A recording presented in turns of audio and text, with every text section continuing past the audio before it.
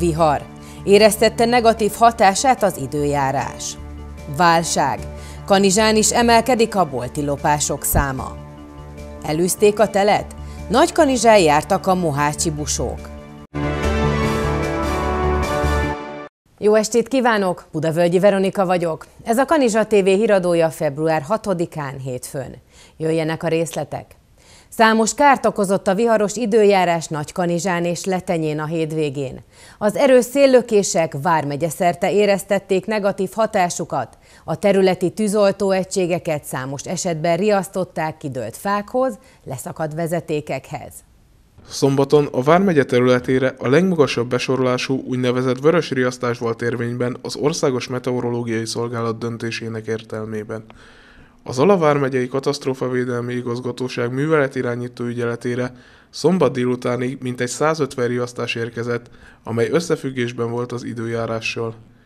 A tűzoltóknak főként fákat kellett eltávolítaniuk az utakról, de leszakadt vezetékek és megrongálódott épületek is jellemezték a területet. A szél leginkább a nagykanizsai, a letenyei és az alakarosi hivatásos, valamint a vései, a letenyei, a Szőkedencsi, a Murakeresztúr és a Mihádi önkéntes tűzoltóknak adtak munkát, akik szinte kivétel nélkül mindenhol kidőlt fákat távolítottak el az úttestről. A Pannon Egyetem Nagykanizsa Körforgásos Gazdaság Egyetemi Központ udvarán egy fenyőfa vált a vihar áldozatává, de a szél éreztette hatását a Városkapu és a Magyar utcában is, valamint a csónakázótó melletti erdőségekben is letört ágakat és kidőlt fákat láthattak a járókelők. Letenyét szintén sújtotta az időjárás, a település nagy részében délután négy óráig nem volt áram. Farkas Szilárd polgármester stábunk ott járt, akkor értesült arról, hogy az elektromos ellátás helyreállt a városban. Nagyon nagy problémát okozott ez az áramkimaradás, főleg az időtartama, hiszen Letenye azért időségben bővelkedik, és nagyon sok helyen gázfűtés és elektromos kazán áll rendelkezésre, és ugye a délután folyamán már a szeles időjárásnak köszönhetően kezdtek fázni, ezt jelezték egyre sűrűbben, és hát hála jó Istennek azért négy órakor a meghibásodást el tudták hárítani, és ismét van áram a városban. Hasonló viharos időjárás esetén a lakosság a www.eon.hu per lakossági per áram per áramszünet weboldalon is tájékozódhat arról, hogy mennyi ideig kell áramszünetre számítani, és milyen ütemben haladnak az áramszolgáltató munkatársai a kár elhárítási folyamattal. Egyre több nagykanizsán is a bolti lopás és a lopási kísérlet. A Penny áruházlánc kommunikáció szóvivője Bonc Dániel arról tájékoztatta szerkesztőségünket, hogy a nagykanizsai üzleteikben a legutóbbi négy esetben okos órát és téli szalámit vittek el, míg a Spár Magyarország részéről Macelka Márk úgy fogalmazott, ma már sokkal inkább a továbbértékesítési céllal történő lopás az, amivel próbálkoznak az elkövetők. A megkérdezett szupermarketek sajtóosztályaitól mindazt a választ kaptuk, hogy a termékek védelmének érdekében biztonsági őrszolgálatot és kamerarendszeres megfigyelést is alkalmaznak. Megkerestük a Zala vármegyei rendőrfőkapitányság sajtószolgálatát is, de a rendőrség nem nyilatkozott a témában. A Penny mind a 228 magyarországi üzletében egységesen védekezik a bolti lopások ellen. Az eszközök közé tartoznak az áruvédelmi kapuk, áruvédelmi kamerák, valamint a biztonsági őrökkel történő védelem. Ahogy válaszukban szerepel, az utóbbi időszakban egyértelműen növekedett a bolti lopások száma, mind a szervezett formájú elkövetések, mind a vásárlói kör által elkövetett megélhetési lopások esetében.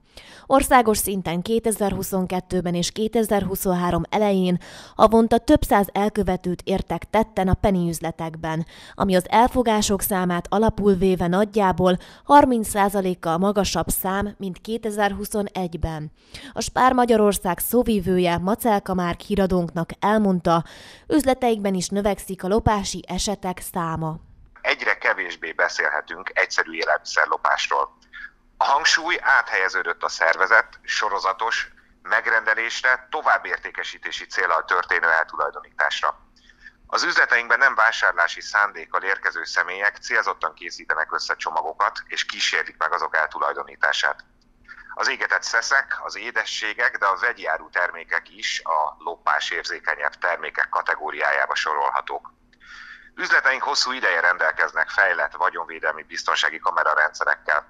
Az esetek túlnyomó többségében az elkövetőkről jó minőségű kamerafelvétel készül,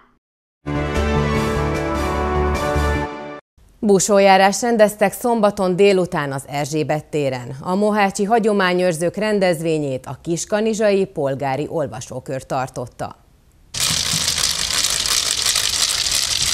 19-en érkeztek Mohácsról délután 3 órakor a város főterére, hogy bemutassák a nagykanizsaiaknak a tradíciójukat, illetve a hagyományos öltözéküket. A védjegyüknek számító jelmez fűszfából faragott maszkból, a bundájával kifordított birkobőrből és bocskorból áll, de jellegzetes kellék még a kereplő is. A mohácsi polgárok olvasóköre igyekszik az egész országban megismertetni a ma már hungarikumnak számító hagyományt. A múlt héten hódmezővásárhelyen voltunk, és megyünk még szírre, titeket is útba ejtettünk Nagykanizsán, de hát vannak más programok is, mert jön a saját busójárásunk 19-én, és arra nagyon készülünk, az egy egyhetes felvonulás. A Kiskanizsai Polgári Olvasókör tagjai évente legalább háromszor találkoznak a mohácsiakkal, így a két szervezet között jó kapcsolat alakult ki az elmúlt időszakban. Úgy gondoltuk, hogy egy olyan dolgot kellene télen csinálni, mivel a Kiskanizsai Mólitz művelődési ház be van zárva, és mi sem tudunk ott a, semmilyen rendezvényt tartani. Az embereknek hiányzik a közösség, és nekünk azért szerencsénk van, mert a, a Nagyvendel plébános úr engedélyezte a közösségi ház használatát, az énekkari próbákra, az énekkarnak a működéseit zavartalan, és engedélyezte, hogy a mai meghívásunk az a közösségi házba szól a busóknak is. Arról, hogy a hagyományőrzőket jó hangulatban köszönthessék a kanizsaiak, a Szikrák Tánc Együttes és a Stobosz Tombora zenekar gondoskodott. Az eseményről bővebben beszámolunk mai Domvidék című magazinműsorunkban.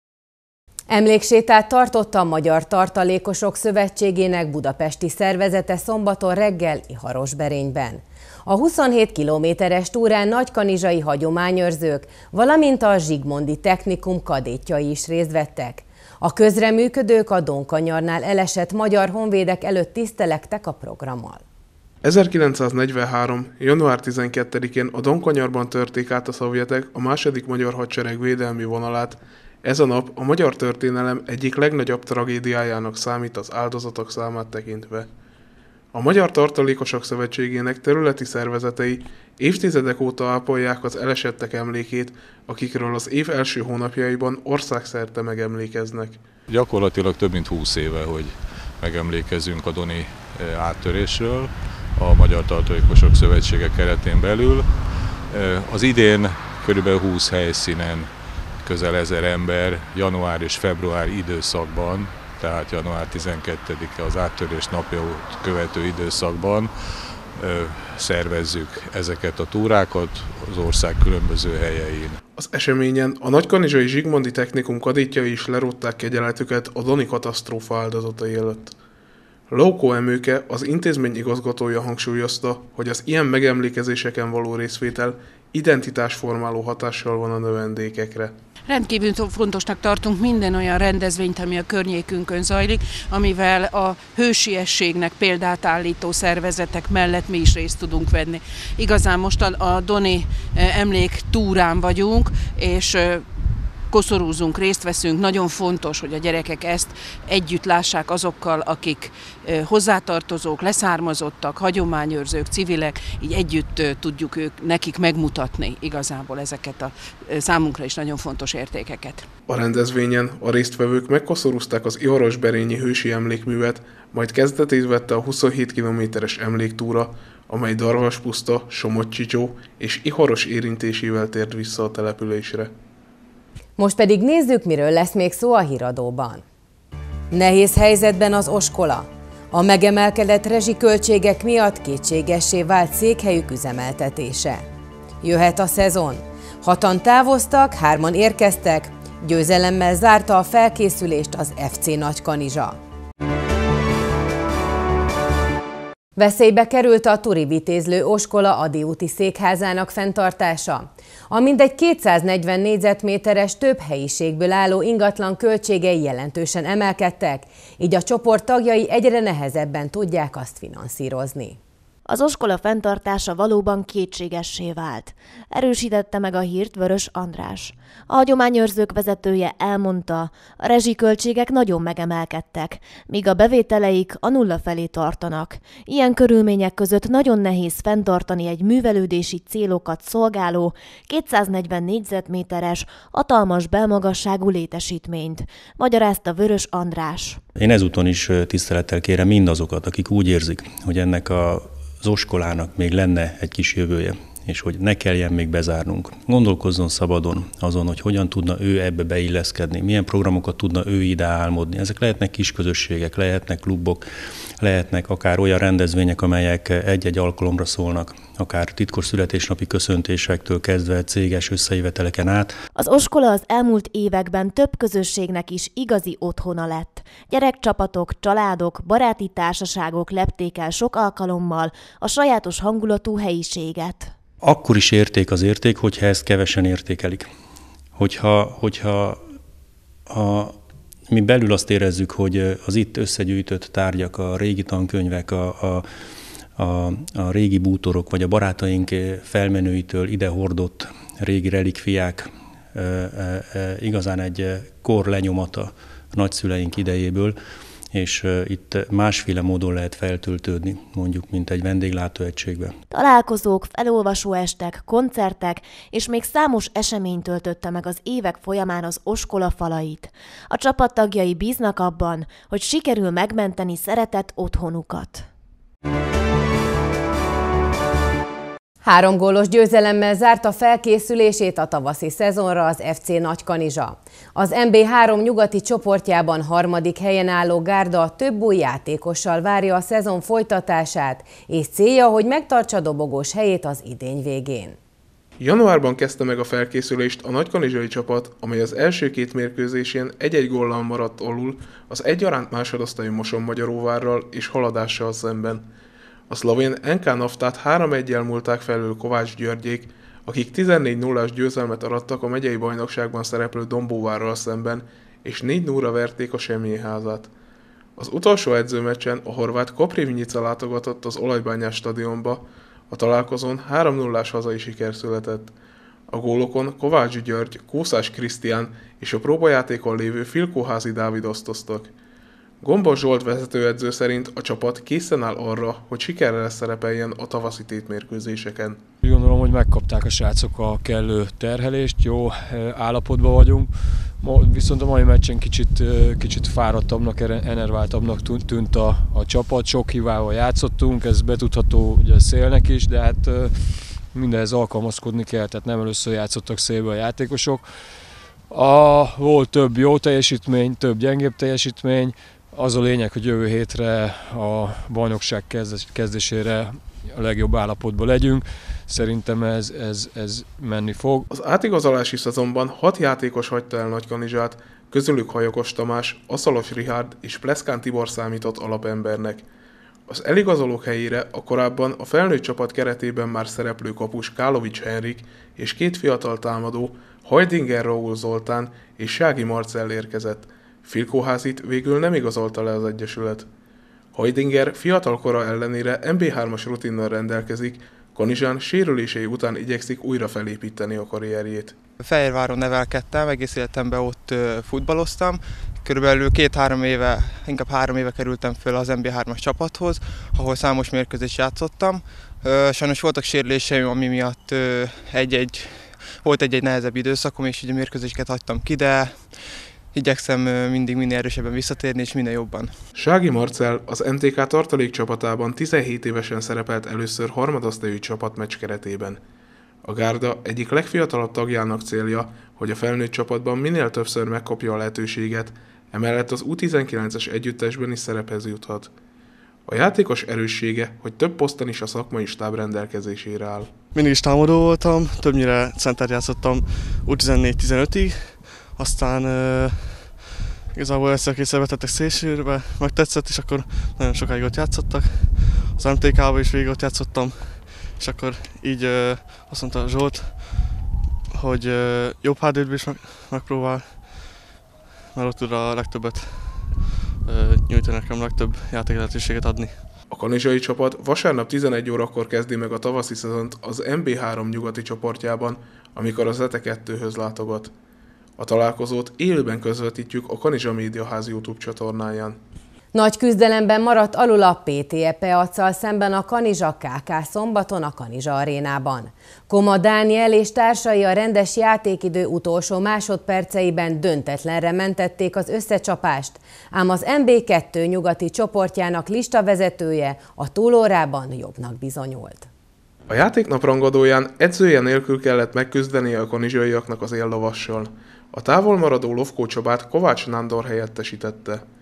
Az első negyedet a Peac nyerte egy ponttal, majd a nagyszünetre 43-34-es vezetésre tettek szert a vendégek. A harmadik játékrészben szintén a pécsiek akarata érvényesült, és a különbség átlépte a 10 pontot. A rendes játékidő utolsó 10 percében azonban a hazaiak folyamatosan csökkentették a hátrányokat, és Tóth Oliver triplájával kiegyenlítettek 5 másodperccel a vége előtt. Az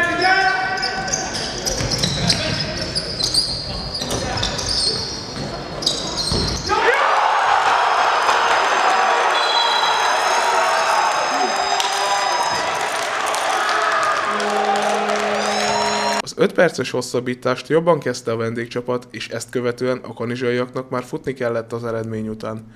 Végül a Peac 93-86-os győzelemmel távozott a Kanizsa arénából. A csoport torony magas esélyesével játszottunk, ők a listavetők. Úgy gondolom, hogy maximálisan helytáltunk, sikerült a mérkőzést hosszabbításra mentenünk, de hát sajnos ők heti 7-8-ot edzenek, mi kevesebbet, így a végére sajnos elfáradtunk a hosszabbításra. A pécsi csapatból hárman is 20 pont felett dobtak, a meccs legeredményesebbje azonban a kanizsai Koma Dániel volt 40 egységgel. A nyugati divízió legjobb pontátlagával rendelkező játékosa a büszke csapata teljesítményére, amire építhetnek a következő mérkőzéseken is. Szerinte is a rutin volt az, amivel a vendégek föléjük kerekedtek. Jó lett volna még kettővel többet a rendes játékidőben, akkor nem lett volna hosszabbítás, de hát igazából azt kell mondjam, hogy tényleg egy nagyon nagy munkával és nagyon nagy teljesítmény volt, hogy vissza tudtunk jönni Egára, egy utolsó, másod, vagy egy utolsó támadásban egy Egára, egy bravo triplával visszajöttünk, az egy nagyon nagy munka volt. Sajnos ez már fölörölte az ereink, erőnket, és az utolsó hosszabbításra már hirtelen kaptunk 10 pontot, és ott már nem volt esélyünk, de ugye ők, a, ők az elsők, egy nagyon szervezett csapat, látszik rajtuk, hogy azért edzésben vannak, ehhez képest mi egész jól játszottunk, hát sajnos, sajnos egy kicsi, a végén már elfogyott az erőnk. A Kanizsa KK a következő mérkőzését március 4-én vívja a bajnokságban, akkor a szintén élcsapatnak számító CVS-e vulkánfürdő látogat az arénába. Iradónk végén nézzük még egyszer a legfontosabbakat egy-egy mondatban. Vihar. Éreztette negatív hatását az időjárás. Válság. Kanizsán is emelkedik a bolti lopások száma. Elűzték a telet? Nagy Kanizsán jártak a mohácsi busók. Ez volt a Kanizsa TV híradója február 6-án hétfőn. Híreinket megtalálják honlapunkon a kanizsatv.hu oldalon. Érdemes lesz velünk maradni, jön Vince Adél magazin műsora a Dombidék. Köszönöm a figyelmet, további szép estét kívánok, viszontlátásra!